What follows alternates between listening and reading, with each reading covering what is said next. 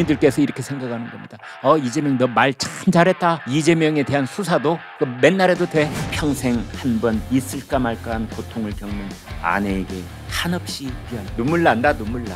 그렇지 이 말 안 나오면 어떡할까 싶었어. 나이는 뭐 37살이라고 그러는데 애조에 애입니다. 아직. 내가 달걀입니다. 아 달걀 맞아.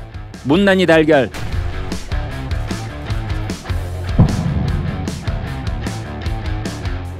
이 조폭 영화에 보면 이런 게 있습니다. 조폭들이 그 부하한테 심부름 시킬 때 또는 학교에서 빵 셔틀 그 학교의 일진이 빵 셔틀한테 심부름 시킬 때 편의점에서 빵, 콜라, 소주, 맥주, 뭐 담배 다섯 보루 해가지고 한 10만 원어치 장보기 시키면서 돈은 딱 만 원만 주는 겁니다. 뭐 이런 영화의 한 장면도 머리를 스쳐 지나갑니다. 김혜경은 배소연한테 도대체 어떻게 그 왜냐하면 제가 하는 말이 아니라 이재명 의원이 음식값을 다 줬다고 하니까 음식값을 준 근거가 남아 있어야 될 거 아니겠습니까? 김혜경이 배소연한테 음식값을 줄 때 어떻게 줬나요? 우리는 보통 통장 이체하거든요. 요즘 뭐 그냥 휴대폰으로 간단하게 똑딱똑딱 하면 25만 원 딱 하고 아니 카카오톡으로도 그냥 보냅니다. 제 앞에 지금 전현석 대표님 앉아 계시는데 제가 전 대표님한테 뭐 돈 보낼 일이 있다 애경사에 20만 원 진 뭐 3분도 안 걸립니다. 똑딱똑딱 하면 촥 합니다. 그러면은 그런 것들은 뭐 통장 이체도 통장 이체도 휴대폰으로 바로 합니다. 통장 이체가 됐건 카카오톡으로 조건 다 기록으로 남아 있는 겁니다. 그러면 경찰 조사에서 김혜경 씨는 이재명 의원 대 의원의 말대로라면 이재명 의원의 말대로라면 80건이 됐든지 800건이 됐든지 배세원이 대신 돈을 낸 것에 대해서 김혜경이 그 음식값을 나중에 치러줬다고 하니 그 근거가 남아 있어야 되는 겁니다. 자, 그 근거 내놓으세요.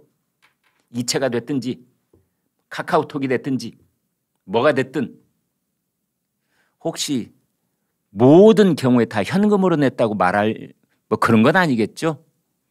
그 정도의 양심은 있겠죠. 또 이재명 의원이 이런 말을 했습니다.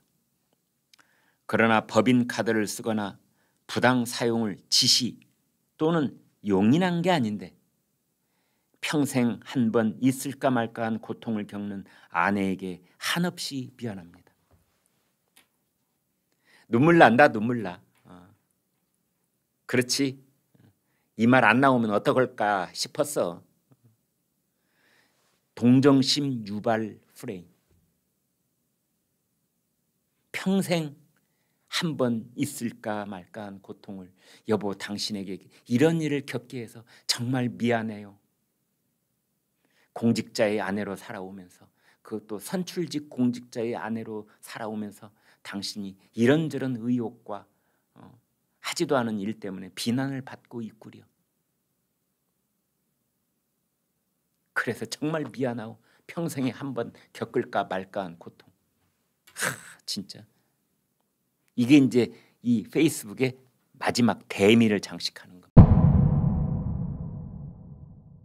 이재명의 허위사실 공표에는 뭐 대장동에 관련된 부분도 있고 뭐 백현동에 관련된 부분도 있고 김문기 성남 도시개발공사 어, 처장 제1처장 이미 고인이 됐죠. 이분을 몰랐다. 하 그것도 하위 직원 하위라는 말을 써서 참 눈에 거슬리던데요. 아 자기는 그럼 뭐 고위 직원이야? 아 물론 아, 위아래가 있기는 있지만 그걸 구태여 하위 직원이라고 할 필요까지는 없잖아요. 안 그렇습니까? 그럼 뭐 상대적으로 지는 뭐 고위가 되나? 어찌 됐건 저찌 됐건 이제 그 몰랐다. 나 그 사람 모르는 사람이었다 했는데 알고 보니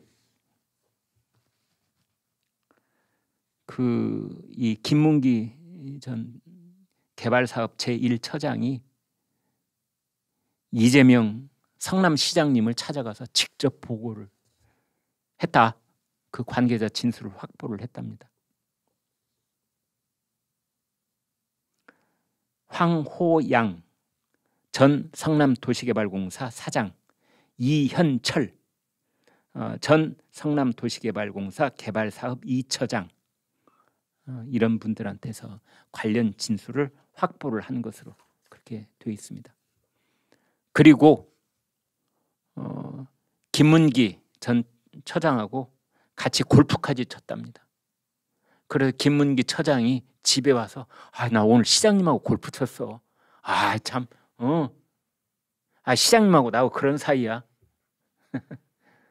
이런 말까지 했는데 더더군다나 호주하고 뉴질랜드를 9박 11일 밥을 30끼 이상 같이 먹었는데 밤도 같이 잠도 같이 같은 호텔에서 자고 아니 어떻게 그런 사람을 몰랐 어디 참 정말 아니 우리 이재명 시장님께서 어떻게 4천 명 이름과 얼굴을 다 기억하실 수가 있느냐 그런 식으로 해명 아닌 해명을 하고 있는데 4천 명을 다 기억하는 소리가 아니지요. 네. 그 중에 성남시장으로서 뭐 단군 일의 가장 큰 업적이라면서요. 그 대장동 개발 거기에 핵심 실무 책임자가 김문기 전 처장이었어요. 핵심 팀장, 개발 팀장, 그리고 호주에 11박 아니 11일, 9박 11일 같이 여행, 골프도 같이 친 사람. 이재명 시장이 4천 명하고 다 가, 같이 골프를 친 게 아니잖아요.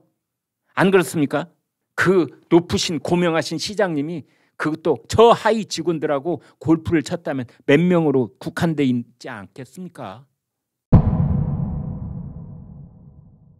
마당이 비틀어졌어도 장군은 똑바로 치랬다고 이재명 대표에게 한 가지 말은 똑바로 해야 됩니다. 똑바로 입은 비틀어졌어도 이거는 이거는 털고 가는 것이 아니라 끝까지 엮어보자는 겁니다.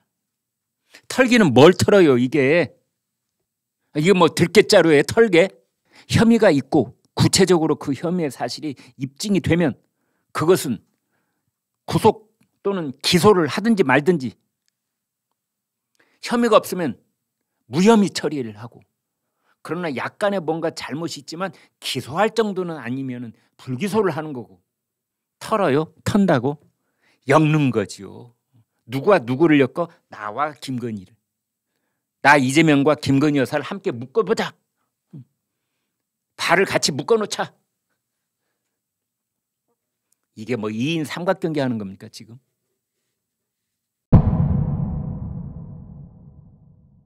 저 부메랑이라는 것이 있죠. 부메랑. 자기가 했던 말이 다시 자기에게 어, 조국 전 법무장관이 그랬죠. 아니 이 사람은 정말 옛날 교수했을 때부터 이 국내외적으로 모든 일에 다 한마디씩 해놓는 바람에 자신이 이 자녀 뭐 입시 비리 등등 해가지고 엮였을 때 그게 고스란히 부메랑이 되어서 조국의 등에 꽂히더라고요. 이재명도 약간 비슷한 경우가 많습니다. 비리 혐의를 밝혀내기 위해서 적폐 수사를 하고 있는데 그걸 정치 보복이라고 한다면 그런 정치 보복은 만날 해도 된다. 이재명 대표가 그랬었답니다. 적폐 청산을 위한 정치 보복이라면 그런 정치 보복은 맨날 해도 된다. 똑같습니다. 어, 정, 이 국민들께서 이렇게 생각하는 겁니다. 어 이재명 너 말 참 잘했다. 지금 이재명에 대한 수사도 그 맨날 해도 돼. 비위 혐의에 대한 수사니까. 김현지 보좌관이 지금 현재 이재명 의원의 보좌관인데 문자가 뭐 이런 그 소환장이 왔다 해놓고 마지막에 출석 요구서라고 되어 있는 마지막에 전쟁입니다.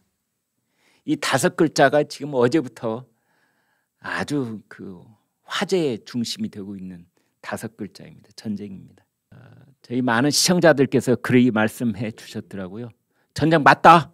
비록 야당 대표의 보좌관이 한 말이긴 하나 전쟁이다. 그러나 이것은 정치 보복의 전쟁이 아니라 범죄와의 전쟁이다. 범죄와의 전쟁. 멈출 수 없는 전쟁. 휴전할 수 없는 전쟁. 야당 쪽에서는 뭐 정치 보복이다, 정치 탄압이다, 보복 탄압 이런 말을 계속해서 반복해서 사용하고 사용하고 있던데 왜 이걸 보복이라고 보는지, 왜 탄압이라고 하는지 그 근거는 뚜렷하지 않습니다. 뭐 거의 없죠, 뭐. 네. 그냥 말만 하는 겁니다. 말을 계속해서 반복을 하면은 이제 국민들께서 그런 프레임 속에 본의 아니게 이렇게 빨려들게 된다는 그런 효과를 노리고 있는 것 같습니다. 뭐 입만 열면 보복이다, 탄압이다 그러고 있습니다. 그 윤핵관 핵심 인물 둘 권성동과 장지원이 이선으로 물러나는 것을 두고 이준석은 위장 거세 쇼라는 말을 썼습니다.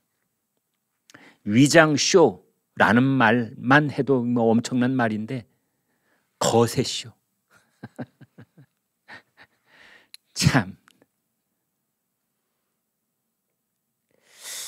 이준석의 입이 참, 참, 정말 XXX가 없습니다. 네, 없습니다. 그게 없습니다. 어떤 그 정치적인 그 그래도 어, 거기까지는 넘지 말아야 될 선 같은 게 있는 건데요. 그 선을 거침없이 넘어버립니다. 권성동과 장재원을 가짜로 거짓말로 아랫도리를 떼어냈다. 거세 쇼를 한 것이다. 다 위장이다. 그런 얘기를 해버린 겁니다. 그런데 더 기가 막힌 얘기를 이제 이준석은 하고 있는데 하루 종일 윤핵관 거세 이야기를 누군가가 의도적으로 기사로 밀어내고 있다. 국민들이 소위 윤핵관을 싫어한다는 여론조사가 많이 나오니 기술적으로 그들과 멀리 하는 듯한 모양새를 취하는 것일 뿐이다. 어, 정말 이들이 거세되었다면 이들이 지난 한두 달간 당을 혼란 속에 몰아넣은 일이 원상 복귀 또는 최소한 중지되고 있는가? 그렇지 않다. 오히려 무리한 일정으로 다시 비대위를 추진한다고 한다. 그 말은 위장 거세 쇼라는 얘기다. 어, 또는 애초에 이들이 기획한 자들이 아니라 이들에게 이 모든 것을 시킨 사람이 있었다는 이야기다. 그러니까 이준석은 제가 봤을 때는 여기서 시킨 사람이 있다. 윤석열 대통령을 가리킵니다.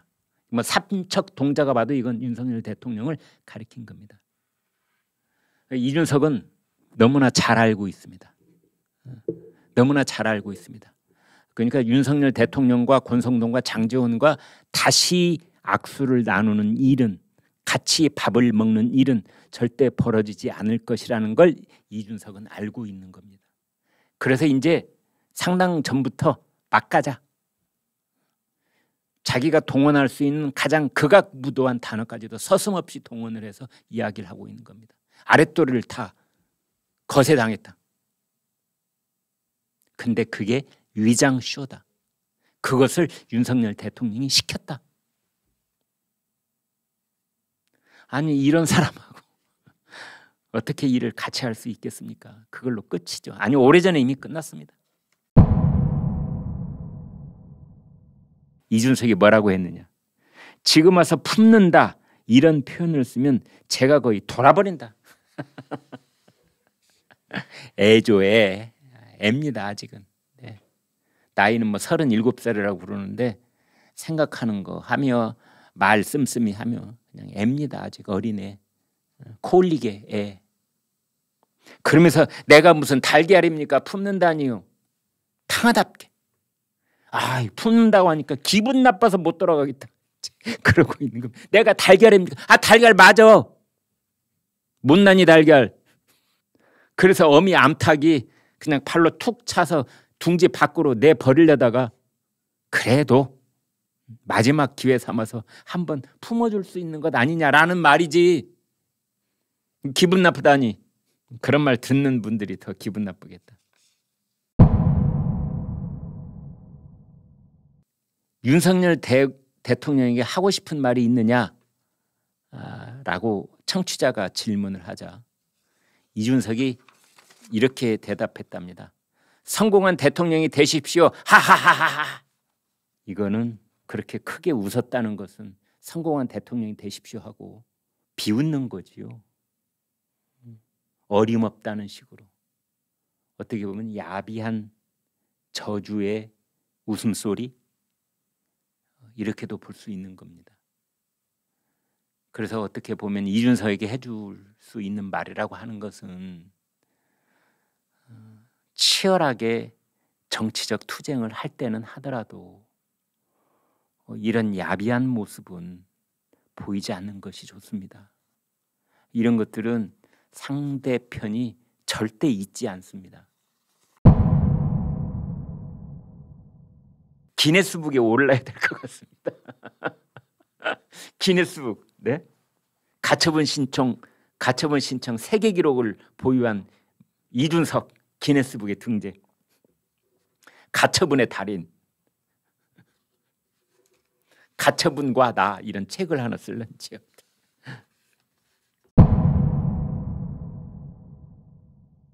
권성동 국민의힘 원내대표가 스스로 자칭 대통령 선거 1등 공신이다.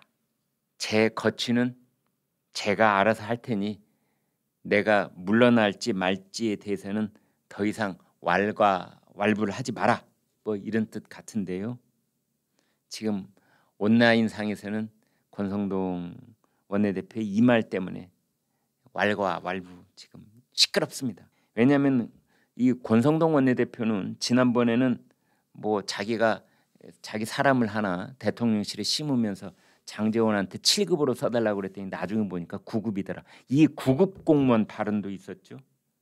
그 다음에 내부 총질, 문자 메시지 이걸 또 사진 기자한테 들통이 났죠. 그 다음에 이제 그러자 권성동 원내대표에 대해서 이제 과거 발언이 또 하나 불거지고 있는데 지난번에 지방선거 유세할 때 이랬답니다. 제가 국민의힘 원내대표입니다. 각종 예산 정책 제가 다 오케이 해야 나갑니다. 그리고 제가 윤석열 대통령 친구 아닙니까? 제가 오케이 하면 다 되는 겁니다. 국민의힘 후보를 당선시켜 주시면 요구하는 예산은 제가 다 떨궈 드리겠습니다. 이런 걸 우리가 사자성어로 호가호위 한다고 얘기를 하지요. 여우가 호랑이 행세하는 것. 참 그렇습니다.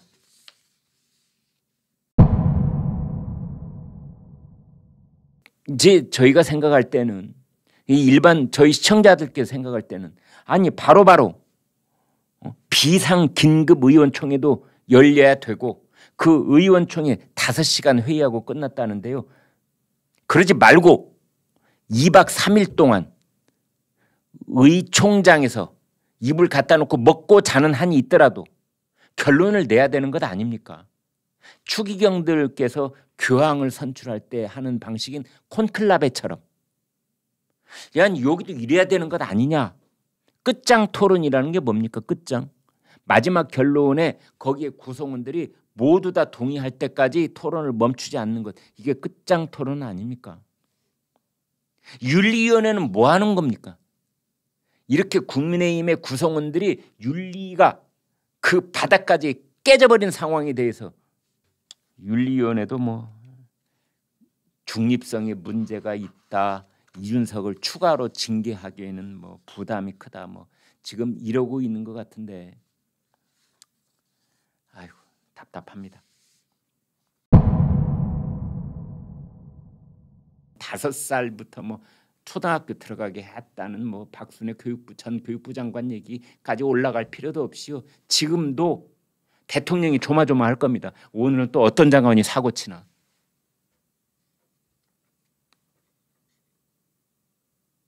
대통령실 대통령실 이렇게 뭐 인사 문제 대통령실 내부에서의 티격태격 그래서 30명을 속아내야 될 정도로 대통령실도 지금 정말 나사가 한없이 빠져 있는 모습.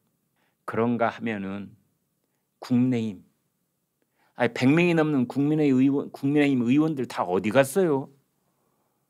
당 대표라는 자는 전, 지금은 전 대표죠. 내부 총질도 모자라서 지금 내부 폭탄을 거의 하루도 터, 건너뛰지 않고 내부 폭탄을 터뜨리고 있고 전임 당 대표라는 자가 서울 남부지법에 낸 가처분 신청이 모든 것을 둘레골처럼 빨아들여서 국민의 힘이 내려고 하는 정책은 다 홀드되어 있습니다. 정지 일단 스톱. 지난 일주일 동안 국민의 힘은 뭐 했느냐? 3, 3호 의원들 만나면 야 가처분 신청 어떻게 될 것 같아? 얘기밖에 안 하고 있다 이거죠. 야 이준석이 어떻게 하지? 저를 그냥 한 대 쥐어 박아야 돼 아니면 그냥 모른 척 하고 있어야 돼 이런 얘기밖에 안 하는 거죠. 그러니까 뜻 있는 사람들이 보기에는 도대체가 도대체가 장관들도 대통령 걱정시키지 대통령실도 대통령을 걱정시키지 국민의힘당 의원들도 대통령을 걱정시키지 솥에 달린 새 발처럼 대통령을 튼튼하게 지지해야 될 이 세 곳이 자고 일어나면 사, 사고 사건 사고를 하나씩 터뜨리고 있는 겁니다.